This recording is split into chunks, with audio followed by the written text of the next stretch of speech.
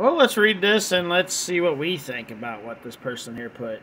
It says so Hunter Biden, aka the money laundering deal making crackhead and the smartest person Joe Biden knows, gets off. Pun not intended. Or is it? From charges anyone besides a filthy dim would be doing prison time for.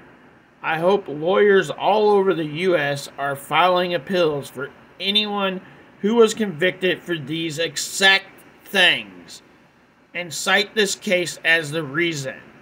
But yes, talk about Don Jr. so foul, so disgusting, so dim. Yes, this guy here got off with a slap on the fucking wrist. That's what he got. A slap on the fucking wrist for what he did. But if you did it or I did it, we'd be in prison the rest of our life.